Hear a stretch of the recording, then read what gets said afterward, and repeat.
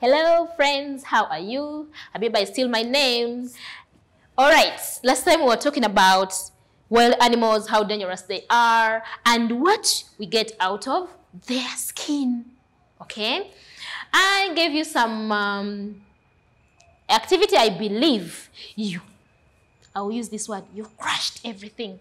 We said one use of wild animal. As for one use, I gave you so many. What do you, we said we get meat from some animals, not all. That's why I said some. We get hides and skin from wild animals, and they also attract tourists. You can pick the simplest you can do, and then answer that. You were supposed to draw and name things. I believe you drew. Maybe you drew some bags, belts, shoes. Um, how a wild animal dangerous to a farmer? Do you know a farmer? A person who, who keeps, who uh, grows crops and also rare animals. The wild animal can spoil the crops. The wild animals can also attack and kill domestic animals. Well, I hope we're together. We're still up um, on animal life. We're talking about animals. And today I want us to see animal movement. You know to move? From one place to moving from one place to another. Yes, I want us to look at animal movement. Yes, I want us to see why animals move. You should be able to tell me at the end of this lesson, why? Why do animals move and how do they move? Okay, this is what you're going to look at. Why animals move and how do they move? All right, animal move for different reasons. We're asking ourselves, mention three reasons why animals move. Why would they move? You also are an animal. You also a person. Why do you move? Animals move to look for food. When they're hungry, of course, they won't sit there. They'll have to look up for food. So animals move to look for food. Also, animals move to look for shelter. Shelter is a home. So animals move to look for shelter where they're going to live. Animals move for protection. Maybe they are, you know, they don't feel comfortable here. They, they, they feel they're going to be attacked. So they, what they do, they move from that place to go and be protected from somewhere. Also, animals move to look for their young ones. For instance, um, for instance, you get lost. Mm. Mommy sends you to the shop and you take a different time. She will have to move to look for you because you are your mother's young one. Okay. You see animals? Animals, this is an animal. This animal is moving to look for shelter. Where to, you know, to hide from the harsh condition. The harsh condition outside is there too much sunshine. So, this animal has looked for shelter. So it's covering itself from, yeah, this one is moving for protection. Maybe something is chasing it. It's running away to look for protection. Okay, another way animals move, you see? They're looking for the other. Mommy, where did our sister go? See, they're all looking up. They're trying to look for the sister. They can't find the sister. Okay, so we want us to see how, however much they move, but you want us to, do they move the same? Do all animals move the same? Do frogs move the same way animal, uh, human beings move? Do, does a fish move the same way a snake moves? Let's find out. How does a fish move? Uh-huh, I'm waiting. How does it move? Does it jump? Does it crawl? Let's see. Animals move in different ways. We have those animals that walk. We have those animals, you see.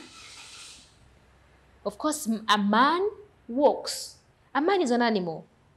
A man walks. We have, oh, look at the baby. The baby crawls. So the walking, the movement here is crawling. So the baby crawls. The baby won't walk. The baby crawls. How, what does a baby do? A baby crawls. Uh-huh. A dog. What does a dog do? Does a dog swim? A dog runs. A dog does what? A dog runs. So the movement here is running. And what does the running? The dog. So the dog runs. Another movement is gliding. Have you ever seen a snake? on TV. Yes, they're so, so dangerous. Don't go, don't you even think about going close to it. It glides. It glides. There's a way it moves. It glides. If we don't say glide, we say slithers. A snake, everybody says slithers. Slithers. A snake slithers. Same way. It slides, glides, or it slithers. Mm-hmm. A bird. A bird flies. You fly like a bird in the sky. A bird flies. Mm-hmm. Um, oh, a caterpillar. A caterpillar wriggles. It can't move. It has those tiny, tiny legs. So it keeps on wriggling. Okay? It keeps on wriggling. Uh, so a caterpillar wriggles. A caterpillar say a caterpillar wriggles. Mm-hmm. Uh-huh, we have something that swims. What do you think that is? Yeah, think. What is that that swims? Wow. What is that that is swimming? A fish swims. A fish swims. Mm-hmm. Then, oh, we have something that sleeps. That thing. Aha. It is a frog.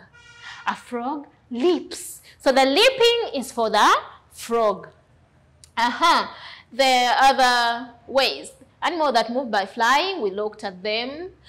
You know those animals that move by flying? For animals that move flying. Mm -hmm.